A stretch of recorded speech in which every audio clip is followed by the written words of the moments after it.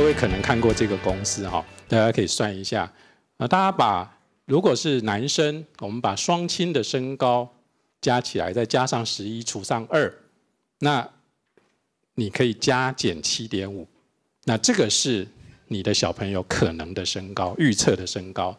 如果是女生的话，就是双亲的身高减掉十一，然后呢除上二，那你可以加减六公分。哎，我们知道这个只是数学算出来的。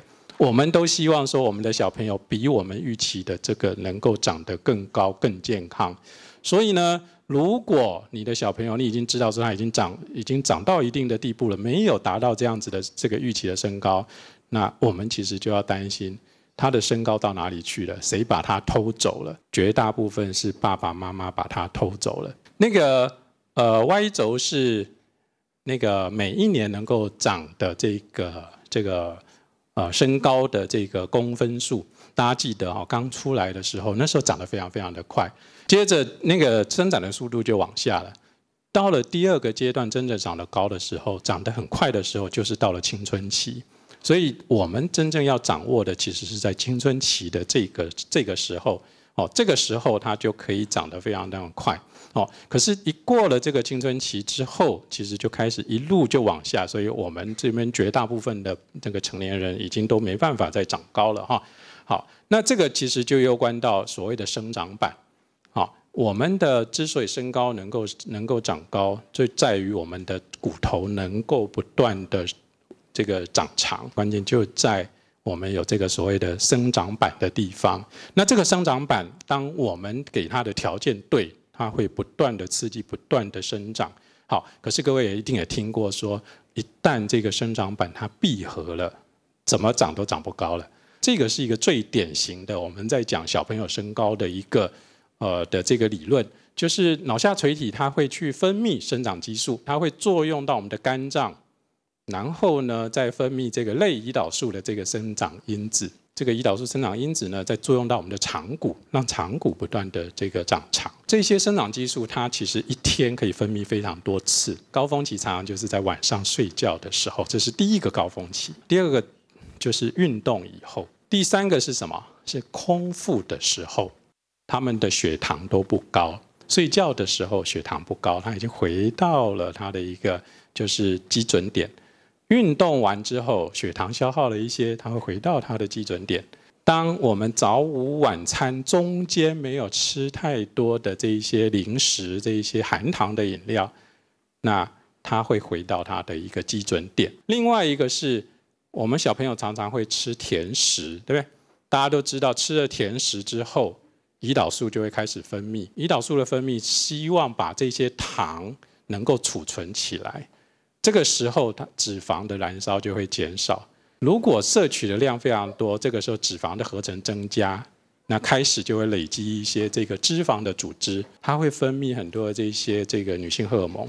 这些荷尔蒙是我们身高长高的一个天敌，它会让我们的这个生长板加速闭合。所以也就是说。我们刚刚听到的这个骨龄，它如果的骨龄比你的生你的生理的年龄还要超前，那它真正能够在长的这个时间就变短了。好，所以这些糖食绝对是一个呃阻碍我们小朋友生长的一个很可怕的一个因子了哈。所以我们就说，不管是精制糖是那个米制糖，还是是有字旁的糖，造成肥胖，造成这些性激素的。这个提高造成性早熟，接下来我们就看到，就是小朋友在前面长得很快，后面他缩短他的这个生长的这个时间。我帮各位做一个很简单的 summary。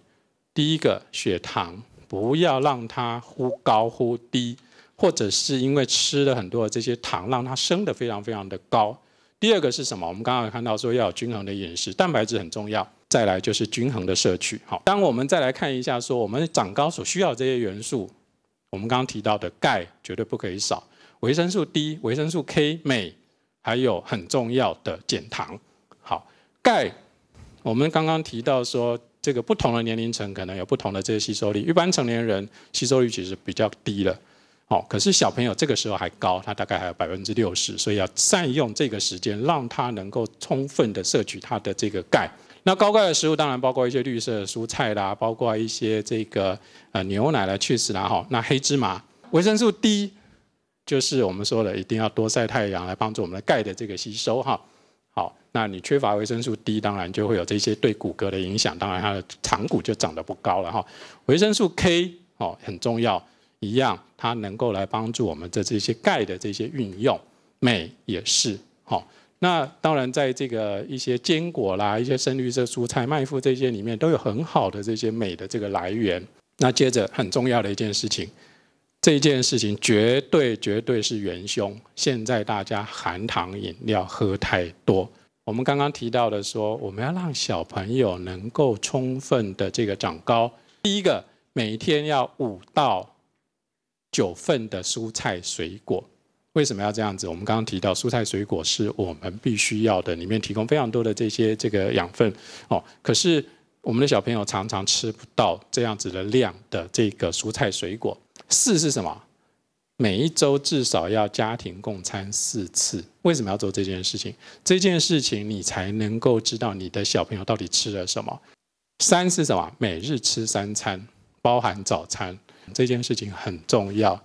我们经过了一夜的睡眠之后，我们身上的一些这个啊肝糖其实会用掉非常多，所以他早上起来一定要在他上学之前，哦，能够在充分的去摄取我们刚刚提到的足够量的蛋白质，以及优质的这一些钙质的这些来源，他才能够在今在这个今天白天里面能够有比较充分的时间让他能够生长哈。好。二是什么？每天荧幕观看时间少于两个小时。这件事情为什么要这样做？运动，他只要是盯着荧幕，他就不会动，他就会坐在那个地方。小朋友要不断的动，动他才有这个刺激，才有这个让这个身身高能够长高这样子的一个动力哈。一是什么？每一天至少一小时的，不管是运动还是活动，小朋友可能不一定有运动，可是活动一样让他养成习惯。零这一阶，这个是非常非常重要的，就是不要糖瘾，好，不要糖瘾，好，好，那可能你没办法叫他每天都不要糖瘾，他已经养成习惯了，就是周间至少让他知道，他平常的时候不要喝糖饮，那真正有必要有这个呃特别的日子的时候，再来吃这个含，再来喝这个含糖的饮料。好，我想我今天很快的把。啊，这些跟呃各位分享好，那希望我们都能够教养出我们想要的一个很健康的这个小朋友，谢谢各位。